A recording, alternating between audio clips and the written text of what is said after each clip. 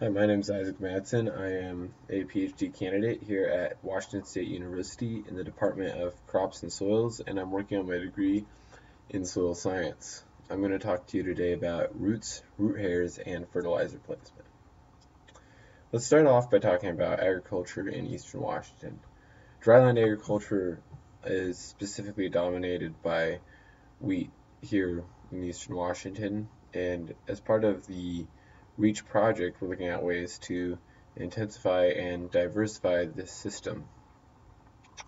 One way in which this system is both or can be intensified or diversified is by bringing canola into the system. So here's a graph over the last five years of the increase in canola acreage. This dramatic increase has led to an increased need for uh, extension products and knowledge coming out of the universities. And there's been quite a bit of work done at both Washington State University and U of I. Specifically, the, some of the work done at Washington State University is focused around making fertility plans. When we talk about fertility plans, we immediately um, go to the four R's of nutrient stewardship. So these are the right time, the right rate, the right place, and the right type. Today I'm going to focus on talking about the right place. So when you're fertilizing at seeding, there's more or less four four choices you have. You can band the fertilizer with the seed. So that's the scenario you can see over here on the left, where the blue is the seed and the white is the fertilizer. You can deep band the fertilizer below the seed, which is the second one, or you can band below and bes beside the seed, which is the third option, or you can surface apply.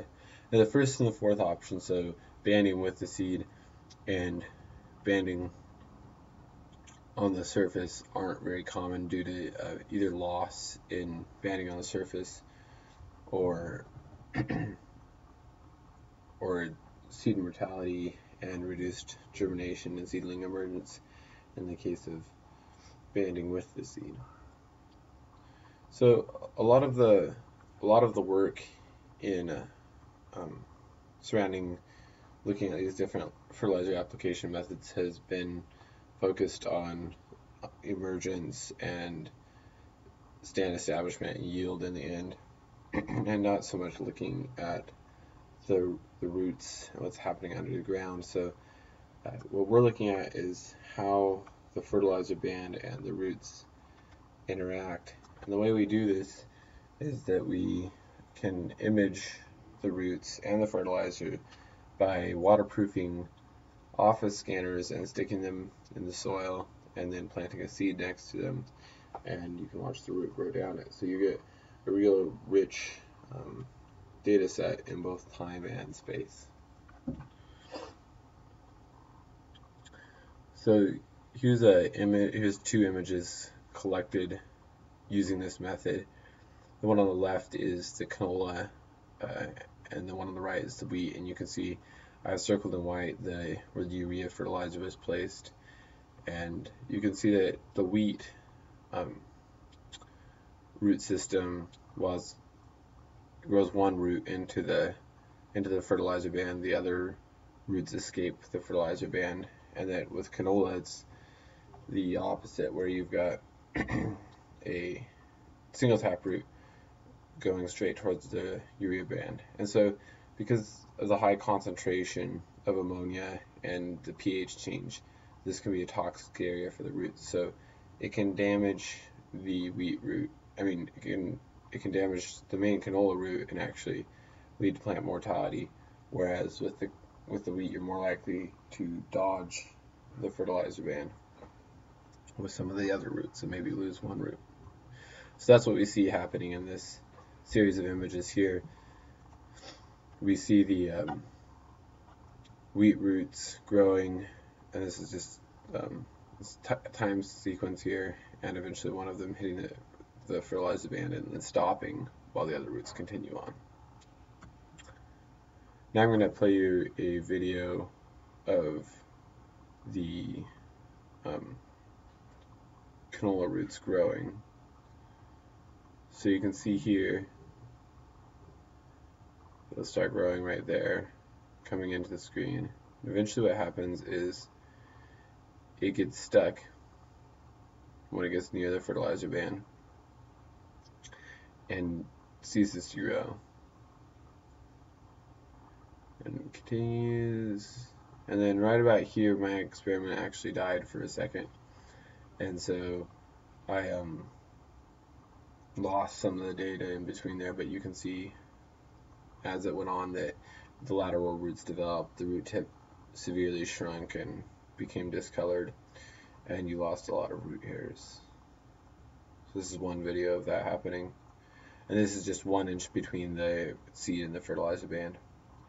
Here's another video of the same thing.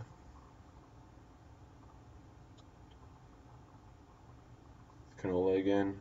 See ground in there. Um,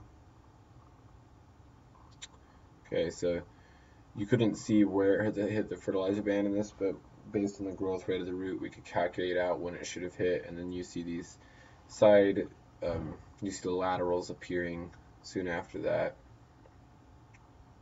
Now, if you focus on towards the bottom of the root, at this point you can actually see the root hair is beginning to die back, the root beginning to shrink, and eventually you can see discoloration occurring in the root. So it pretty well the fertilizer the concentration of fertilizer, so the ammonia pretty well um, killed that root also. So this is pretty neat because we're able to look at um, symptoms that we wouldn't necessarily be able to see through other means and, and what was really occurring to the roots. So some of these symptoms we saw were lateral root development, root hair shrinkage, root shrinkage, and root discoloration. So I'm going to focus in on one of these symptoms. So here's a here's a video of the root hair dieback, and this is actually towards the top of the root. We also saw a dieback there. So just for a reference, this is I, I believe a centimeter across. The longer end of root hairs would be like four millimeters on these particular plants, and you can see there it died all. The root hairs all died off. So these pictures and videos are great for demonstrating new symptoms or just kind of getting a flavor for how things work. But really, if you're going to be publishing or analyzing this sort of data, you need some means of um, getting numbers out of it. So this is where I haven't had a, a, ton of success at automating this process. So I've had to do a lot of measurements in Photoshop. And I've also been using ArcMap, which allows a little more automation and is actually has some remote sensing features for looking at um, uh, larger scale things that you can use in the same set in this root setting. So I'm going to talk to you a little bit about this um, some some data we got here where we've got the um, length the maximum length of the root hairs on the y-axis and the hours after planting on the x-axis and then this time and the series of data are these different zones of the root length. And these zones are simply based on the order in which the root was growing. So that 1 to 3 millimeters was just the first image of root growth. That's how long the, the section of root hairs was. And so that's what I took my measurements from. So that just means that for each different time starting timestamp I can have a different data series which makes it a little easier to visualize and think about. So let's go ahead and look at this data. So here's that first 1 to 3 millimeters. You can see the root here is growing. And then they, they stay at this length of close to 3 millimeters for a while, and then they start to die off again. Then in the 4 to 11 section, so that's the next section down on the root, you see a very similar sort of thing occurring, but they're lasting a little longer. The third section, they're lasting a little longer. And then finally, in this fourth section, they actually didn't die off, surprisingly enough. So we're getting closer to fertilizer band, but these roots are living longer. But in the next section, they're dying off again. And finally, in the last section, they're dying off pretty quickly. So that's closest to the fertilizer band. Here's the same data plotted in a different way with root length on the y-axis and the maximum root hair length on the x-axis. So you can see, so these time these series are now each for a different timestamp of photos. Um, and you can see that as the root goes down, right, the higher up root hairs are becoming more mature, so they're reaching their mature length. Now the root tip disappeared at this point, so all our root hairs are just getting towards mature length. Eventually right in here, they sort of reach that point of equilibrium or I guess maturity. So they're not they're not growing anymore. So we'll skip towards the end of the time series now. So here we are where we started off. Um, I mean where we'd ended the last section with this kind of stable maturity. And now if we keep moving we can see at the top and the bottom of the root we can see the root here is starting to die off. And that just continues through the rest of the video.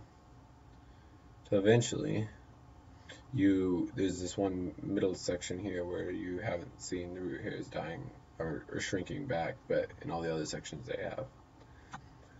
So this is really interesting. Uh, as far as I know, it's new information.